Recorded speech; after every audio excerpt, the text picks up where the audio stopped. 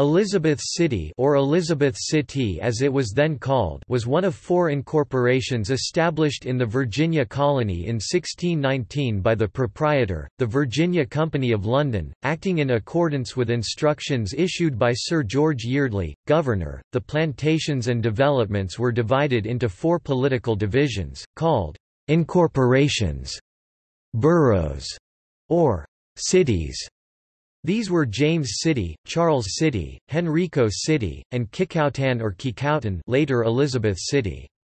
Each of the four cities extended across the James River, the main conduit of transportation of the era. In 1634, under the authority of Charles I of England, Virginia was divided into eight counties, or shires.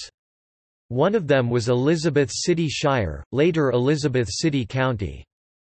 Elizabeth City County existed until 1952, when it was incorporated as the independent city of Hampton, Virginia.